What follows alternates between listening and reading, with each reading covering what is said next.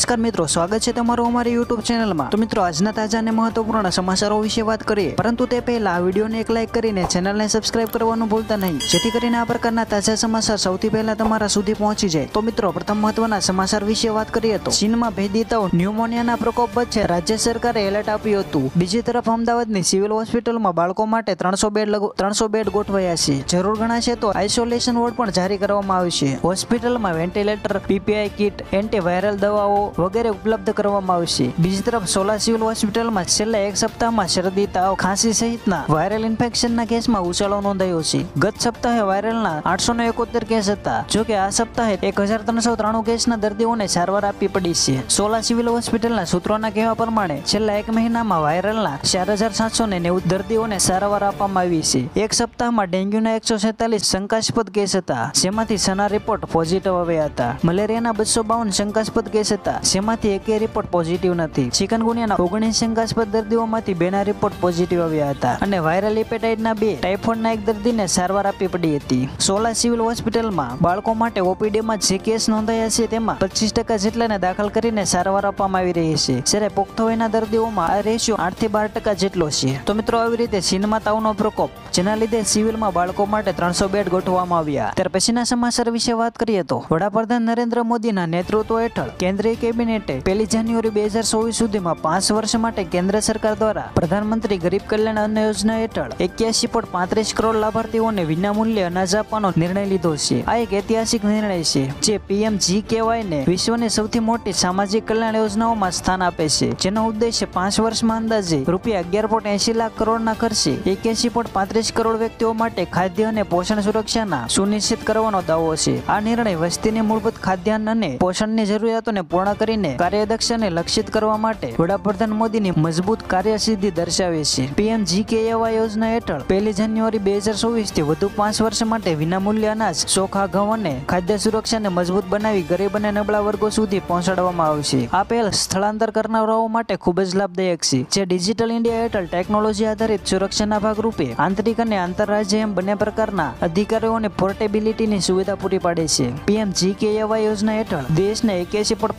પાંત્રીસ કરોડ ગરીબોને દર મહિને પાંચ કિલો અનાજ વિનામૂલ્ય અપાય છે. બુધવારે કેન્દ્રીય કેબિનેટની બેઠક બાદ માહિતી પ્રસારણ મંત્રી અનુરાગ ઠાકોરે કેબિનેટના નિર્ણયોની જાહેરાત કરતા જણાવ્યું હતું કે, પીએમ જી કે યોજના પહેલી જાન્યુઆરી બે હજાર ચોવીસથી વધુ પાંચ વર્ષ માટે લંબાવાય છે. આ યોજના હેઠળ અંત્યોદય પરિવારોને દર મહિને પાંત્રીસ કિલો અનાજ આપવામાં આવશે તો મિત્રો, આવી રીતે પહેલી જાન્યુઆરી બે હજાર ચોવીસથી વધુ પાંચ વર્ષ માટે કેન્દ્ર સરકાર દ્વારા પ્રધાનમંત્રી ગરીબ કલ્યાણ અન્ન યોજનાને પાંચ વર્ષ માટે લંબાવવામાં આવશે ત્યાર પછીના મહત્વના સમાચાર વિશે વાત કરીએ તો રાજ્યની સરકારી ગ્રાન્ટેડ અને ખાનગી પ્રાથમિક તેમજ માધ્યમિક અને ઉચ્ચતર માધ્યમિક મળી સત્તાવન હજારથી વધુ શાળાઓમાં ઓગણત્રીસમી નવેમ્બરના રોજ એકવીસ દિવસનું દિવાળી વેકેશન પૂર્ણ થતા ત્રીસમી નવેમ્બરથી બીજા શૈક્ષણિક સત્રનો પ્રારંભ થયો હતો. દિવાળી વેકેશનના સમાપ્ત થતા રાજ્યની તમામ શાળાઓમાં અભ્યાસ કરતા અંદાજે એક પણ પંદર કરોડ જેટલા બાળકોના કિલ્લોલથી સ્કૂલ કેમ્પસો ગુંજી ઉઠશે. તારીખ ત્રીસમી નવેમ્બરથી પાંચમી મે બે હજાર ચોવીસ સુધીના બીજા શૈક્ષણિક સત્રમાં બાળકોના શિક્ષણ કાર્ય માટે કુલ એકસો સત્યાવીસ દિવસ ફાળવવામાં આવ્યા છે, જે પૂર્ણ થતા છઠ્ઠી મે બે હજાર ચોવીસના રોજ પાંત્રીસ દિવસનું ઉનાળુ વેકેશન પડશે. રાજ્યની તમામ સ્કૂલોમાં પાંચ જૂન બે હજાર તેવીસથી ચાલુ શૈક્ષણિક વર્ષનો પ્રારંભ થયો હતો.